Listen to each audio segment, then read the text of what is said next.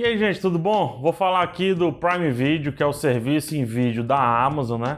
Assim como existe a Netflix, lá nos Estados Unidos existe o Hulu. Está chegando esse ano nos Estados Unidos e nos próximos anos o serviço de streaming da Disney, no caso o Disney Plus. Aqui no Brasil temos também Globoplay e vários outros serviços, né? Alguns voltados para esportes, outros voltados aí para cinema e série. Também recentemente teve do YouTube, que é o YouTube Premium, que eu posso falar em outro vídeo. Eu tenho um vídeo bem antigo, assim, tem uns um ano e meio por aí, que eu falei sobre o Prime Video na época, se valia a pena ou não assinar, e eu tô resgatando esse vídeo, só que de uma maneira diferente. Eu vou tentar resolver aqui é, duas coisas né, em um vídeo só só que um é testar esse sisteminha de ficar utilizando o celular para futuramente utilizar com fotos, com imagens, quando for analisar Game of Thrones, The Walking Dead, trailer, seja lá o que for, e também para mostrar para vocês, né, zapear um pouco aqui o serviço de vídeo da Prime Video, pois eu acredito mesmo que responde essa pergunta se vale ou não a pena assistir algo,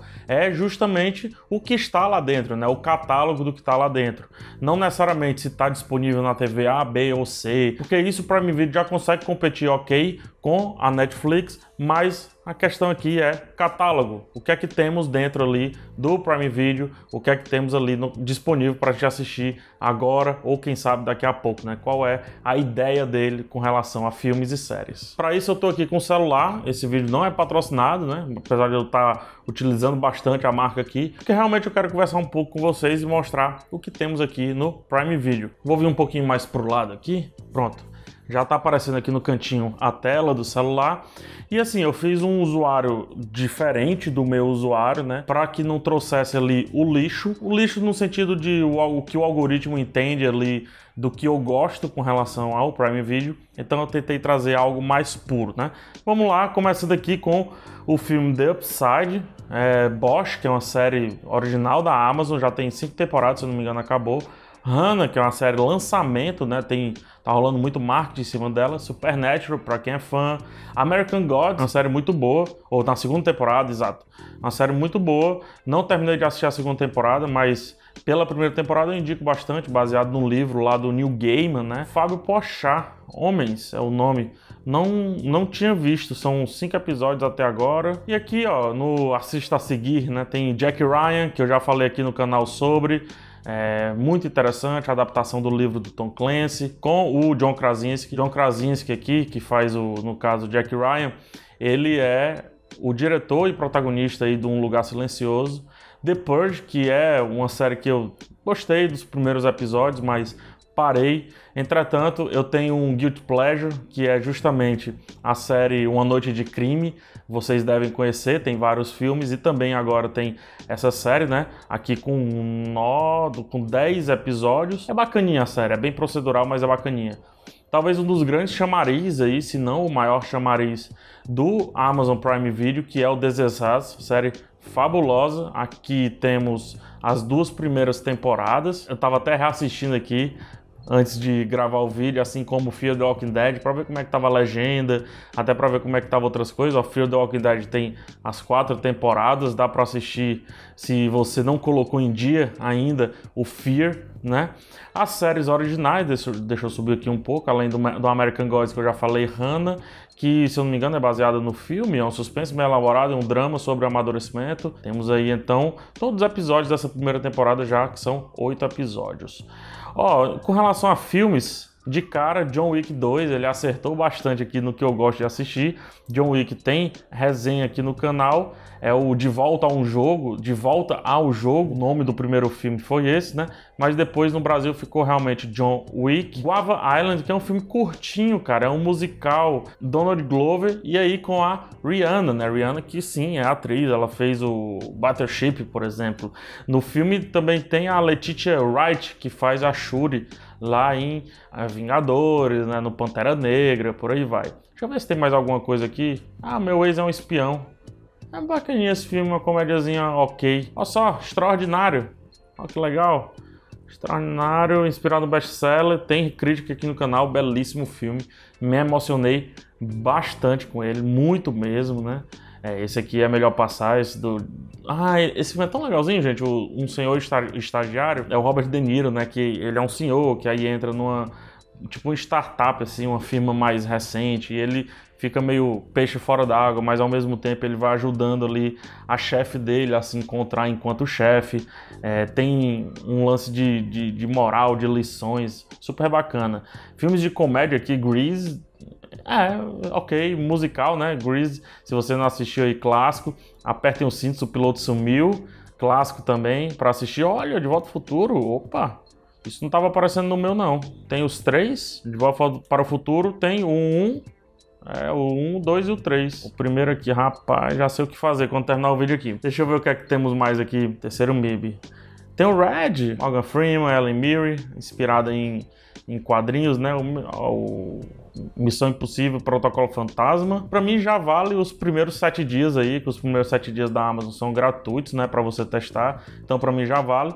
Não por Motoqueiro Fantasma, obviamente, mas por alguns que eu já encontrei. Adoro o primeiro Sherlock Holmes, bem divertido aí com direção do Guy Ritchie e com o queridíssimo Robert Downey Jr., dizendo Robert De Niro, né? Robert Downey Jr. Deixa eu ver se eu encontro mais mais clássicos aqui, Alfred Hitchcock tem refém do... não, não tem. Tem o Hollywood Collection, né?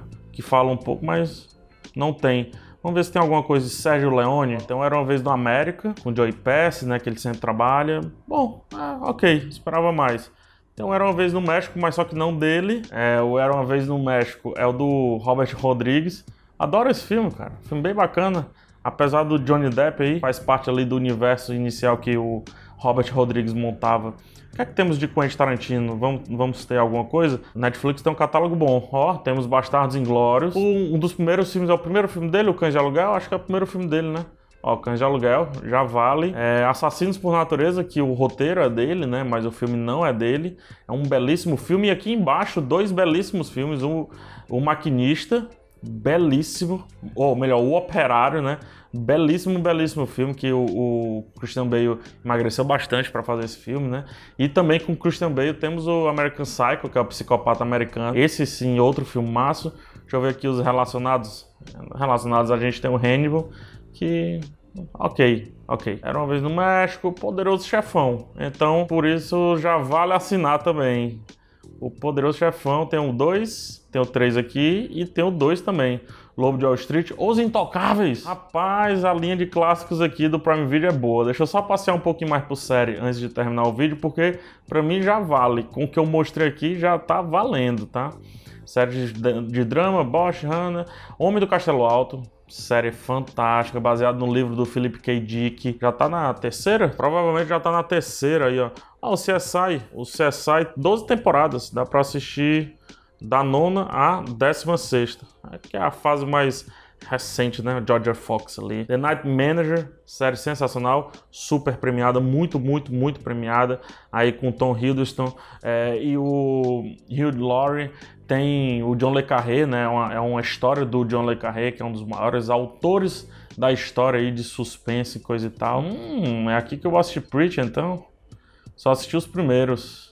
Legal. Preacher, é, inspirado, inspirado não, né? Adaptado aí do, da obra do New Gaiman, dos quadrinhos do New Gaiman. Taken, é o primeiro esse. Busca Implacável, o primeiro... Ah, é, não, essa é a série. A série não, na série não é legal não. Então, deixa pra lá. Muitas coisas boas aí, naveguei um pouquinho com você no Prime Video. The Office, lógico. Temos todas as temporadas todas as temporadas. Sensacional. Tinha saído, já vou assistir aqui. Tinha saído. Ah, essa é a série da Julia Roberts, ó. A Homecoming. Tá fazendo tipo uma propagandazinha antes. Enfim, já vale a pena assistir. Para mim já valeu a pena assistir. Vou deixar aqui, rolar mais um pouquinho. Deixa eu voltar pro meio. Usei um pouquinho o Prime Video com vocês. Espero que vocês tenham gostado da proposta, que é vocês entrarem na ferramenta antes de precisarem assinar, ou pelo menos para ver as minhas indicações iniciais. Às, vezes a gente entra naquele mar de indicações e não tem um guia, e agora existem vários guias, né? Temos com Tarantino aí para vermos à vontade. Poderoso Chefão, De Volta para o Futuro, Apertem os Cintos, Grease, tem muita coisa interessante aí de filmes clássicos